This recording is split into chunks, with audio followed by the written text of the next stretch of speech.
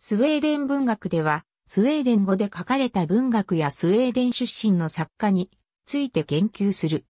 スウェーデン最古の文学的資料は、西暦800年頃のバイキング時代に掘られたレーク石碑である。西暦1100年前後のキリスト教会宗により、スウェーデンは中世に入るが、当時の修道士は主にラテン語で文章を書いたため、この時代のコスウェーデン語文献はわずかしかない。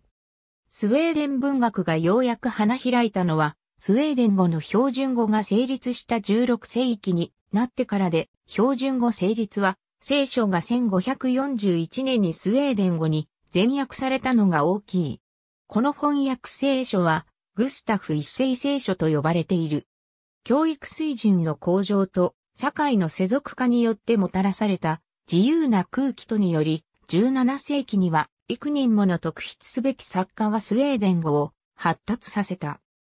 重要な人物として最初にスウェーデン語で古典詩を書いたゲオルク・シェルムイルム、ゲオルク・スティンヒルム、最初に流麗なスウェーデン語の散文を書いたヨハン・ヘンリク・ケルグローン、最初にバーレスクなバラットを書いたカール・ミカエル・ベルマン、社会派、リアリズム作家、劇作家として国際的な名声を得たヨハン・アウグスト・ストリンドベリらがいる。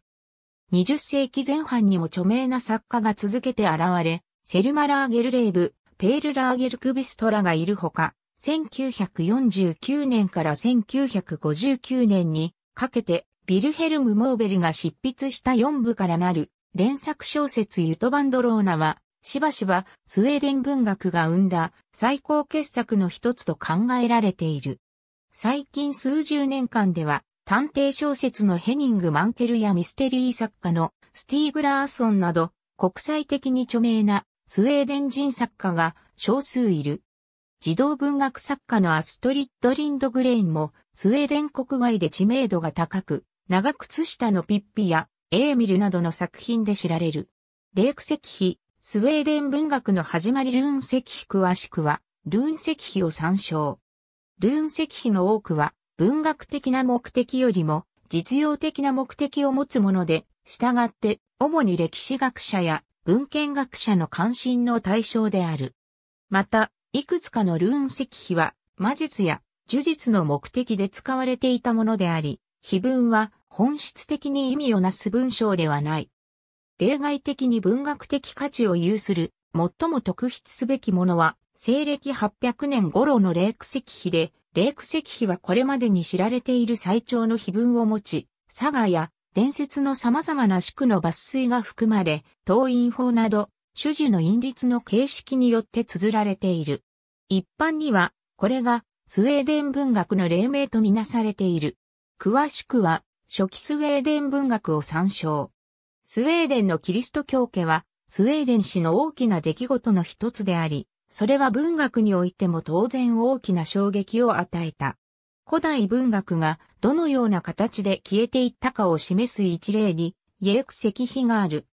イエーク石碑では、ラムスンド彫刻画と同じ図像が用いられているが、キリスト教の十字架が加えられ、また、画像の融合により、絵が本来表していた物語の論理性が完全に歪曲されている。どのような理由があったにせよ、イエーク石碑は、キリスト教家の時期に、非キリスト教の英雄神話が、いかに埋没していったかを映し出している。その後スウェーデンでは、文学的規範を外国文献に求めることになる。1200年までに、キリスト教はスウェーデンに定着し、中世ヨーロッパの文化がスウェーデンにも出現した。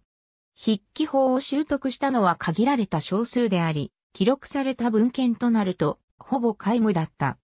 完全な形で発見されている最古の写本は14世紀前半にラテン語で書かれたもので、スウェーデン語で書かれた最も古い完全な形の書物は14世紀後半のものである。教育は多くカトリック教会で行われたため、この時期の文献は主に神学もしくは聖職に関するものである。残る文献の多くは法律文書である。詳しくはスウェーデンにおける宗教改革期、ルネサンス期の文学を参照。スウェーデンにおける宗教改革期の文学は1526年から1658年の間に書かれた文学と考えられる。しかし、この時期は文学的観点からは高く評価されず、文学の発達の点では後退であると一般には考えられている。その主な理由は、グスタフ一世があらゆる出版物を統制し、検閲しようとしたためで、その結果として聖書とわずかな宗教的な作品のみが出版されるにとどまった。同時期にカトリックの修道院では略奪が起きたり、カトリックの本が燃やされたりした。王は高等教育の再興に重きを置かなかったため、ウプサラ大学は衰退するに任された。この時期は比較的少数の作家が存在した。教会の聖職者の影響力は大きく低下したものの、市民はまだほとんど力を持っていなかった。1520年代の宗教改革は、地裁からその政治的、経済的権力の大半を奪った。高等教育を求めるスウェーデン人は多くの場合、国外のロストック大学やビッテンベルク大学に留学を余儀なくされた。宗教改革期には文学の他にある重要な思想的運動が起こった。スウェーデンの古代史を商用するゴート紀元説である。この時期はスウェーデン文化に対する寄与こそ小さかったものの、少なくとも将来の発展のためには貴重な基礎を与えた。その最も重要なものとして、1541年に行われたグスタフ一世聖書と呼ばれるスウェーデン語への翻訳聖書があり、これはスウェーデンに初めて統一的な言語をもたらした。ついで重要なものに印刷機の導入があり、それまで書物に接することのなかった人々に文学を普及させることになった。ヘクサメトロスによるし、ヘラクレスの最初のページ、ゲオルク・シェルンイエルムによる、1658年スウェーデン史における1630年から1718年までの時期は、バルト帝国時代と呼ばれる。その一部は、文学史上の独立時代とも重なる。スウェーデン文学の伝統は、バルト帝国時代から始まったと考えられている。ルネサンス文学は1658年から1732年までの時期と考えられている。1658年にゲオルク・シェルニエルム、ゲオルク・スティンヒルムがスウェーデン語で最初のヘクサメトロスによる詩、ヘルクレスを書いた。スウェーデンが列強の仲間入りを果たすと、力強い中産階級の文化が花開いた。宗教改革の時代と違い、学問は単に進学のような教会における研究にとどまらなくなった。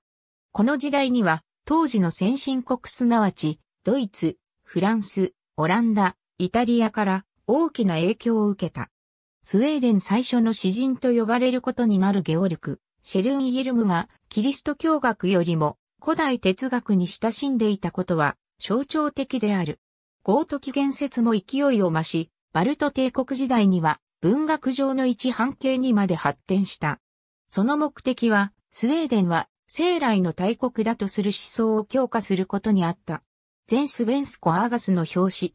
1732年詳しくは、スウェーデンの啓蒙文学を参照。18世紀はスウェーデンにおける文学と科学の黄金時代とされる。この時代はそれ以前と比べて、作家も文学もより高水準のものが現れた。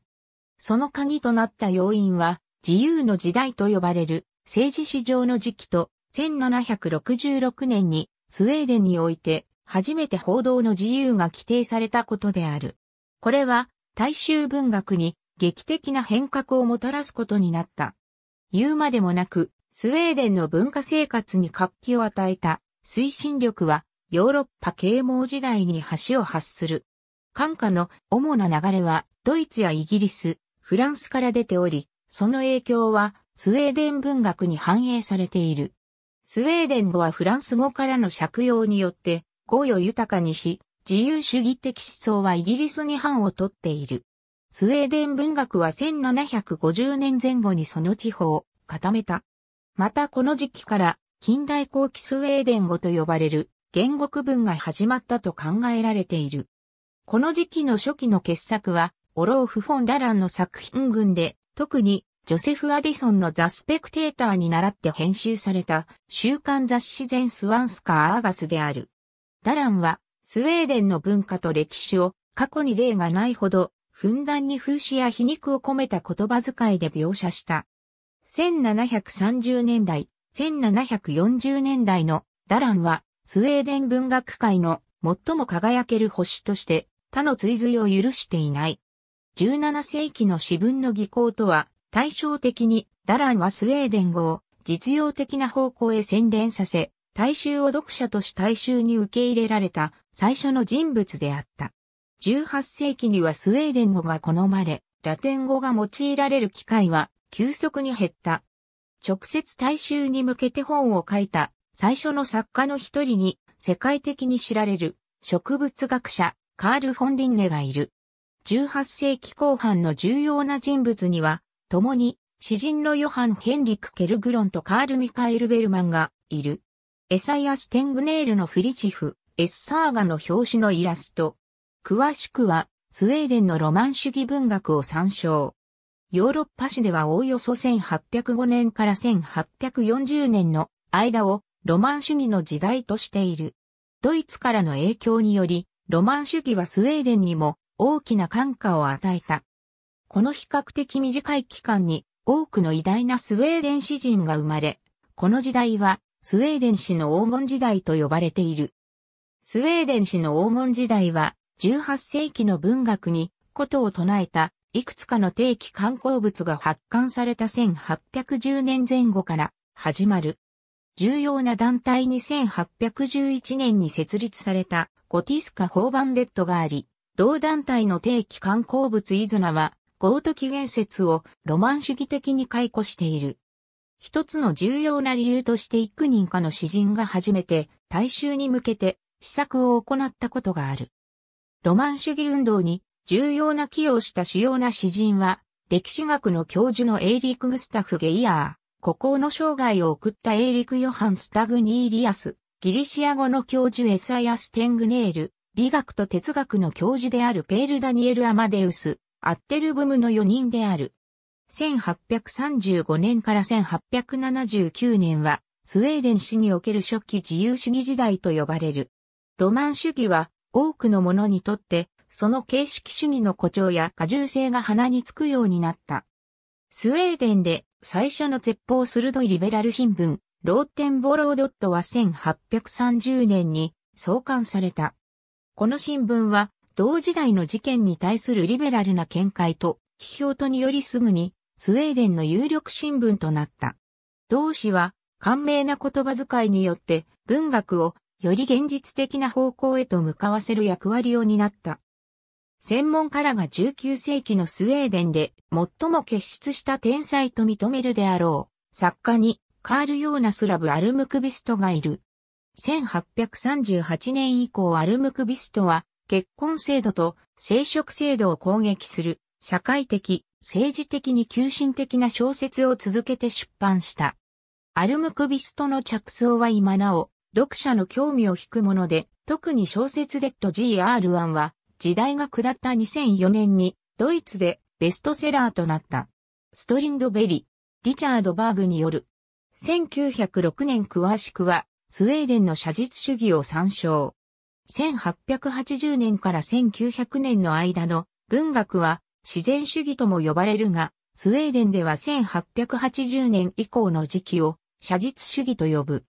これは、一つには1880年代に社会派リアリズムに強い焦点が当てられたこと、さらに1890年代は90年代詩人の時代でもあることによる。19世紀後半から20世紀前半にかけて、スカンジナビア文学は初めて世界文学にその刻印を刻むことになった。スウェーデンの作家では、ヨハン・アウグスト・ストリンドベリが、その代表格で、オーラ・ハンソン、セルマ・ラゲルレーブ、ビクトリア・ベネディクトソンも広く認識された。スウェーデンにおける写実主義の急展開は1879年に起きた。同年、ヨハン・アウグスト・ストリンドベリが赤い部屋を出版する。これは、政界、学術界、思想界、宗教界を徹底的に攻撃した風刺小説であった。ヨハン・アウグスト・ストリンドベリは劇作と散文で世界的に有名な作家となり、その並外れた才能と怪獣な知性で知られた。ストリンドベーリはストックホルムで死去するまで本や戯曲を書き続けた。スウェーデンの1890年代では、1880年代の社会派、リアリズム文学に対する反動としての、シンドマン主義的な詩文が注目される。最初に出現した文学上の主要人物がベルネル・フォン・ヘーデンスタムで、その文壇デビューは1888年の詩集、バレファート・オー・バンドリンサーである。セルマラーゲルレーブは1890年代の最も輝ける星と言って良いだろう。その影響は現代まで続いている。ラーゲルレーブの二大作品は多くの言語に翻訳されたニルスの不思議な旅とイエスタ・ベルリング物語であるが、他にも評価の高い作品を書いている。ラーゲルレーブは主としてその語りの巧みさにより1909年にノーベル文学賞を受賞した。詳しくは、スウェーデン文学におけるモダニズムを参照。1910年代には、いくつかの批評論文を発表し、多くの保守的な価値観と戦ったローストリンドベリの手で新たな文学の時代が幕を開けた。社会民主主義が登場して大規模なストライキが発生し、時代の風は社会改革の方向へと吹いた。1910年代に文学の表現形態として優位に立ったのは小説であった。最初期の小説家にはヤルマール・セーデルベリーがいる。セーデルベリーはいくらかシニカルに時としてニーチェ風の色彩で幻滅やペシミズムを描いた。1901年にはマルティン・ビルクの青春を発表した。それは多くの人物によって文学的な質の高さを評価されたが、それよりもはるかに大きな特徴は、そのストックホルムの描写であった。それは、それまで書かれたものの中で最も優れたストックホルムの叙述と広く認められている。しかしセーデルベリーの最も評価の高い作品は、その後に出た復讐とロマンスの物語、グラース博士で、スウェーデンのあらゆる小説の中で最高かつ完成度の高い作品と考える者もいる。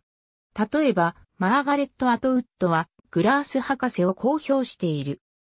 19世紀と20世紀の時代の狭間に現れながら、しかし、この小説が開いた扉は、その後ずっと閉ざされることがないスウェーデンの農業には、英米の実物賃金制度トラックシステムと似た、生産物や家などの現物支給のみを受けるスタータレ、スタテアと呼ばれる農業労働者制度が存在した。この制度の下で暮らし、しかも知的な業績を残した数少ない人物に、作家のイーバルロ、ヨハンソン、モア・マーティンソン、ヤン・フライドガードがいる。これら各作家の作品は、スタータレ制度の廃止に重要な役割を果たした。第二次世界大戦後に名声を得た著名なプロレタリア作家にビルヘルム・ムーベリ・ビルヘルム・モーベリがいる。ムーベリは多く一般庶民、特に小作みのりの生活を書いた。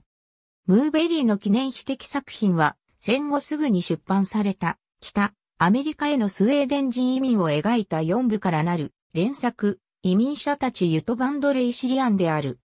この作品でムーベリは19世紀に新世界へ移住した男女が体験した多くの苦闘や困難をラブロマンスの形で描いた。詳しくはスウェーデンの児童文学を参照。1930年代には子供たちが求めているものについて、それまでとは違った捉え方がなされるようになった。その具体的な現れが第二次世界大戦後すぐの1945年、アストリッド・リンドグレーンが発表した長靴下のピッピである。ピッピの反抗的な振る舞いは、はじめ一部の文化的保守主義者らの反発を引き起こしたが、最終的にピッピは受け入れられ、児童文学は道徳を植え付けるという義務から解放されることになった。アストリッド・リンドグレーンは児童書のベストセラーを多数書き続け、ついには全ジャンルを通じて最も人気の高いスウェーデン作家となり、世界中で1億部が出版され、80を超える言語に翻訳された。他の多くの本でもリンドグレーンは子供の考えや価値観をとてもよく理解していることを示した。例えば、遥かな国の兄弟では、勇気の物語であると同時に死を取り扱っており、ミオよ私のミオは友情についてのおとぎ話である。しかし、リンドグレームのすべての作品に深いメッセージがあるわけではない。3巻からなる屋根の上のカールソンは背中にプロペラをつけた小さく太っちょでいたずら好きの男が少年と友達になる話である。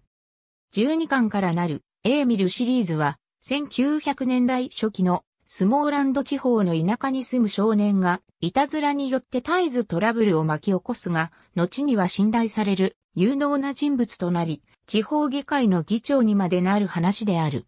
リンドグレーン以外のスウェーデン文学の数少ないファンタジー作家の一人に、スウェーデン語でムーミンを書いたフィンランドの作家トーベ・アンソンがいる。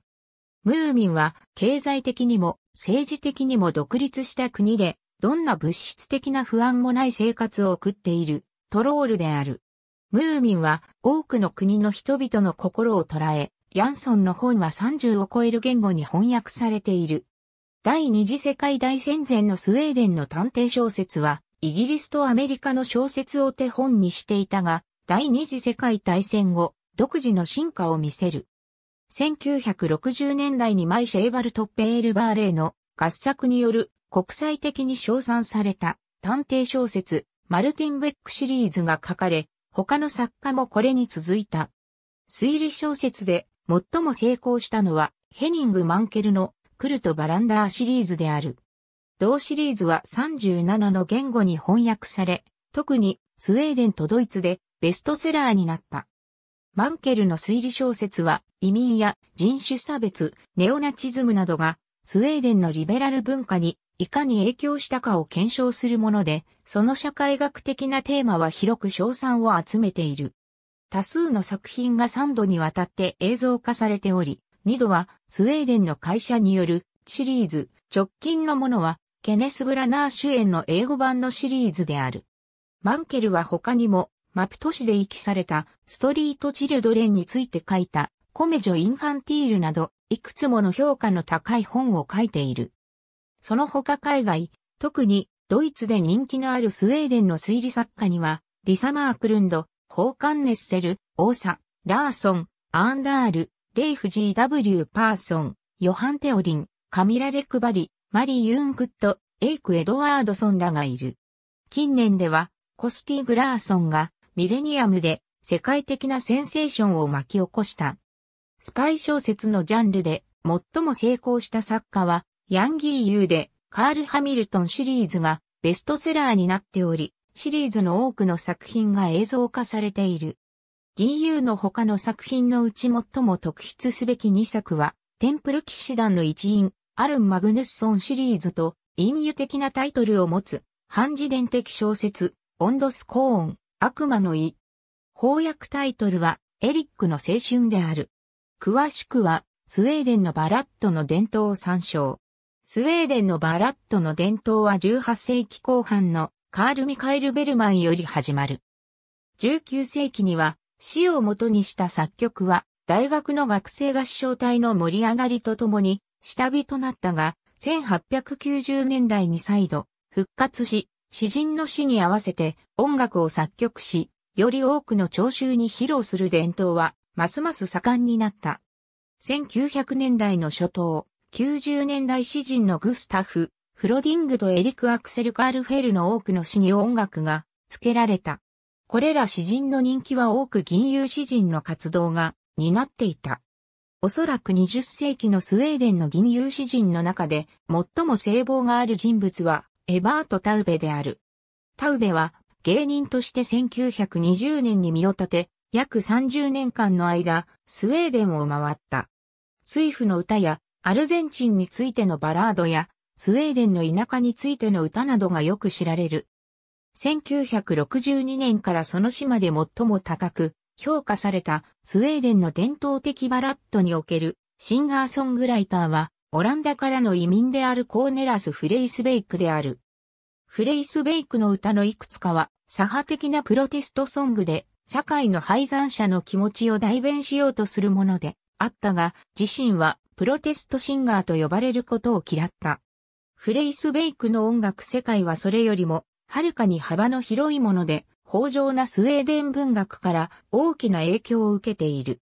フレイスベイクは、死後その司祭についても高い評価を得た。詳しくは、スウェーデンの近代史を参照。1930年代から40年代の詩は、モダニズムの観念に影響を受けている。際立った特徴としては、文学的実験や様々なスタイル、それも通常は、陰や陰律のない自由な宿句の施策に意欲を見せたことなどがある。短期間のうちに、モダニストの第一人者となったのは、ヒュールマール・ガルバーグである。アンドリがベニングハーなど、神秘的で、キリスト教の影響を受けた多くの詩集を書いた。1942年から1952年の間に試作を休止した後、1950年代に新しいスタイルを伴って再登場した。一見無神論的に見える詩は若い世代に影響を与えた。ガンナー・イークローは虚無的な最初の詩集セントピー、ジョーダンによってスウェーデン最初のシュルレアリスム詩人とされているが、この作品を理解する同時代人は少なかった。しかしエケレフは、後にロマン主義の方向へ向かい、第二詩集、デジカチオネにより、広く需要されるようになった。エケレフは、老年になるまで書き続け、スウェーデン師団の支配的な地位を保ち続けた。そのスタイルは、象徴的表現により重々しく、謎めいていると同時に苦悩に道霊障的であると言われる。もう一人の重要なモダニスト詩人は、ハリー・マーティンソンである。ハリー・マーティンソンは、カール・フォン・リンネの精神を受け継ぎ、自然に対する比類のない感覚を持っていた。同世代の詩人と同様、マーティンソンも意味や音節数に拘束されない自由な詩文を書いた。小説も書いており、古典的な作品として、半自伝的なナスローナ・ブラウマがあるが、マーティンソンの最も優れた小説は宇宙をさまよう宇宙船の物語アニアラである。おそらく20世紀の最も有名なスウェーデン詩人はトーマス・トランストロンメルであろう。その詩はキリスト教の神秘主義を特徴とし、夢と現実、刑事化と刑事上の淡いを行き来する。同時に60年代には歴史的アバンギャルドに影響された強力なトラディションが発展し、スウェーデンの具象詩運動は当時の実験史における世界三大運動の一つになった。代表的存在として、イビンド・フォルストラム、エイク・ハデル、ベント、エミール・ジョンソン、レイフ・ニランがいる。実験的な60年代に対するリアクションとして70年代は、アメリカからビートトラディションを取り入れ、継続的なアバンギャルトの活動により、小規模な文芸雑誌への詩の発表、現代スウェーデンの代表的詩人ブルーのケオイヤーを生んだステンシルアート運動、さらにはアントナン・アルトーの残酷劇、ロックンロール、前衛パフォーマンスに影響を受けたソングパフォーマンスが進化した。ダン・アンダース・サンスカート・ロスバーグに生まれ、1920年9月16日ストックホルムで死去はスウェーデンの作家で詩人であり、自身の詩のいくつかを歌にした。アンダーソンは音楽家のガンナー・ツレッソンの姉で小学校教師のオルガ・ツレッソンと1918年に結婚した。しばしばブラック・ジムというペンネームを使っている。アンダーソンはスウェーデンのプロレタリア作家に分類されることがあるが、業績は一ジャンルに止まるものではない。劇作家は第二次世界大戦後に現れた。1950年代はレビューが人気で、この時代の著名人にはコメディアンのポバル・ラムルとカルデ・ムンマがいる。